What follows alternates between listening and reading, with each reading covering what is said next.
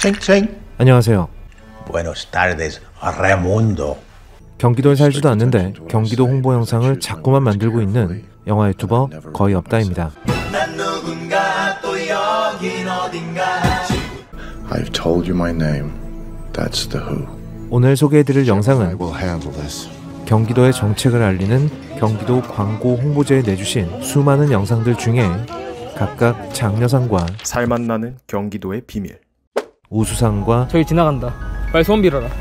대상을 수상한 작품들입니다. 여러분 안녕하세요. 주제 넘게 제가 이 작품들을 평가하진 않을 겁니다. 저의 개인적인 의견만 아주 조금, 아주 조금 첨언하는 것으로 유지하되. 여러분들께 이 작품을 소개해드리는 것을 주요 내용으로 하도록 하겠습니다. 함께 보시죠. 첫 번째 영상은 고탐정, 살맛 나는 경기도의 비밀이라는 작품입니다. 001. 이 고탐정이라는 인물이 고탐정, 경기도 속 수많은 동네의 평화를 책임진다. 경기도의 수많은 동네들의 평화를 책임진다는데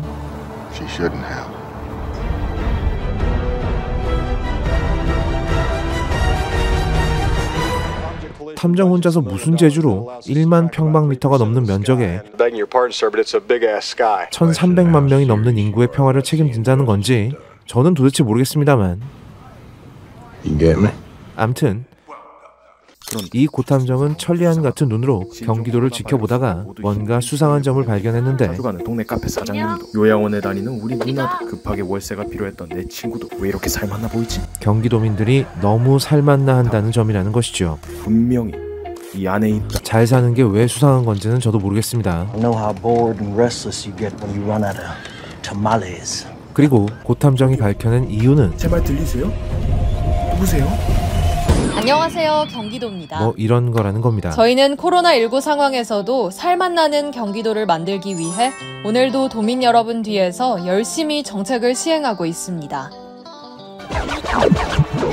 경기도는 코로나 19로 많은 소득기를 입었을 중소기업과 소상공인에게 낮은 금리로 특별 자금을 지원해드립니다. 또 경기도 내 취약 노동자들에게 코로나 의심 증상 발생 시 경기 진단 검사를 제공합니다. 마지막으로 행정 안전부와 함께 경기 희망 일자리 사업을 시행하고 있습니다. 전체적으로 화질도 깔끔하고 나레이션도 좋습니다. 도대체 뒤에서 무슨 일이 벌어지는 거지?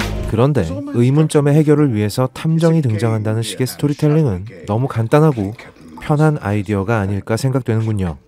원래 탐정이라는 직업은 남들이 잘 못 사는 일에 관심을 기울이는 직업일 텐데 말입니다. 무난한 공익 광고 한 편을 보는 느낌입니다. 경기도민이 살맛났던 것이군. 수사 종결. 물론 공익 광고급의 퀄리티도 아무나 뽑는 건 아닙니다. 훌륭합니다. 다만 조금 더 번뜩이는 아이디어와 스토리텔링이 있었다면 이 퀄리티 좋은 영상이 더 잘 살지 않았을까 싶네요.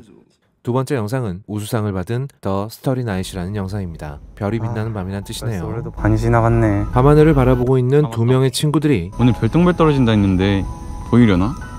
저기 지나간다. 빨리 소원 빌어라. 별똥별을 바라보면서 나누는 대화가 중심이 되는 영상입니다. 한 친구의 소원은 이런 것이고 나 여자친구 생기게 해달라고. 어? 아니 이게 왜 웃을 일이죠? 너무 당연하고 좋은 소원 아닙니까? 농담이고 농담이라고요? 아니 세상에 그것보다 중요한 일이 뭐가 있다고 농담이래? 다른 친구의 음, 소원은 말이야. 이것이라는군요. 코로나 좀 끝내달라고 빌었지. 얼른 코로나가 끝나서 친구들이랑 다시 학교도 가고 싶고 저는 특히 이 플래시백 부분이 좋았습니다. Fantastic. Isn't that amazing how they do that?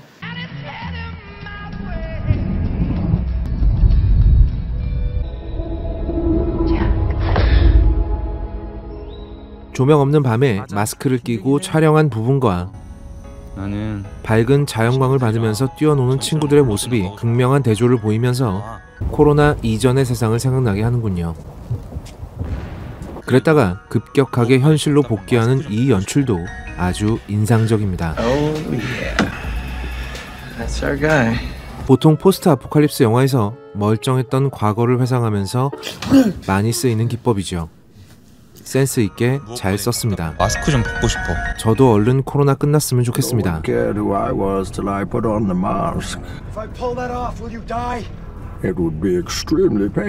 그나마 수많은 의료진들의 고생 덕분에 전 세계적인 팬데믹 상황에서도 우리나라는 그나마 그나마 조금 낫다는 것도 잊어서는 안 되겠죠. 그러니까 답답해도 마스크는 꼭 하도록 합시다. 두 친구의 대화에서 확장되는 스토리텔링과 의료진 분들도 힘들고 빨리 끝났으면 해서 주제의식이 잘 드러난 연출이 잘 어우러진 작품이라고 생각합니다. 세 번째 영상은 대상을 받은 경기도 청정계곡의 세단장이라는 작품입니다. 여러분 안녕하세요. 먼저 대상 받으신 거 축하드립니다.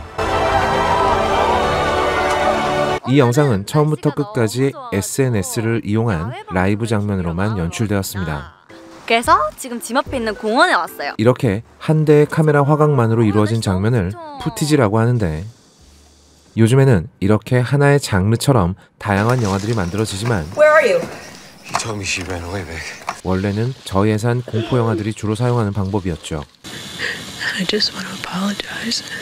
요즘엔 다양한 종류의 소셜 네트워크로 라이브 컨텐츠를 진행하는 경우가 많으니까 이렇게 누군가가 혼자 진행하는 footage 형식의 화면이 더욱 친숙합니다. 또 이런 화면은 출연한 사람이 혼자 화면을 보면서 이야기하는 것을 굉장히 자연스럽게 만들어줍니다. I'm standing here. You make the move. Don't try it, you. 즉, 이 영상은 김가영이라는 사람이 혼자 소셜 네트워크로 라이브 컨텐츠를 진행하고 있다. 라는 컨셉으로 상당히 많은 부분을 해결한 겁니다. 또 하나 칭찬하고 싶은 건 스토리텔링 방식입니다.